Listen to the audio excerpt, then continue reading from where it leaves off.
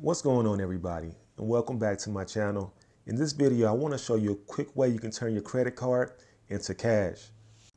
This is important because sometimes you just need some extra money and you need it within a couple weeks and this is one of the methods I don't recommend doing all the time but if you have to have some money this is going to be your best option. Some credit cards let you do cash advances and that means you can basically go to the website or you can go to the credit card company and they can take your balance and actually give you money in return for whatever you have on your balance. That's useful for situations where you have to have cash and you can't use a credit card for something.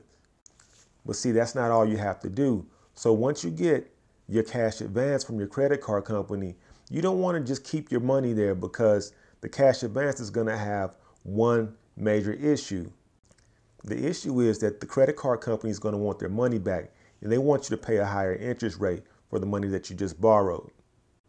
So once you get your cash advance, what you want to do is then find a balance transfer credit card. And with this balance transfer credit card, you want to take whatever balance you have on your current credit card and assign it to the balance transfer credit card. That basically means that whatever balance you had with the cash advance is going to be null, it's going to be gone, and you won't have to worry about paying a higher interest rate. The other bonus is when you take your money to the new credit card company, they're going to have a 0% interest for a certain period. In most cases, if you have a good balance transfer card, they'll do that for you. And it could be anywhere from 12 months to 18 months, depending on the card. I've done something similar with the Chase Freedom card, but they're not doing balance transfers right now. So here's a couple options for you. Check out the Citi Double Cash card. They have an 18 month option, check out the US Bank Platinum Visa card. They have a 0% balance transfer APR for 20 billing cycles. And then another good option is the Citi Plus Rewards card. They have a 0% balance transfer for 15 billing cycles. The good thing about this card is they also have rewards that you can use for purchases that you make on the card. And that's basically the whole method. Hopefully you can use that method if you have to have cash.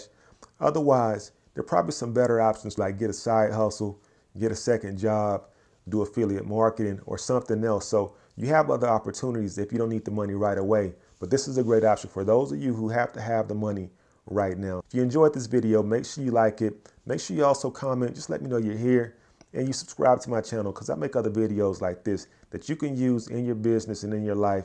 So thanks again, and I'll see you in the next video.